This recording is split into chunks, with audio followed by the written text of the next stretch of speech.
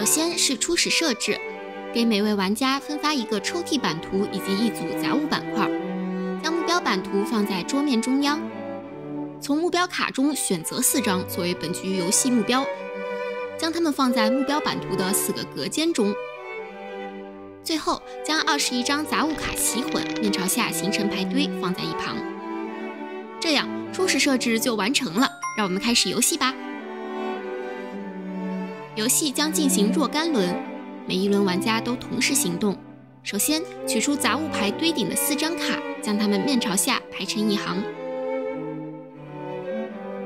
每次翻开一张杂物卡，找到对应的杂物，将它放入你的一个抽屉隔间中。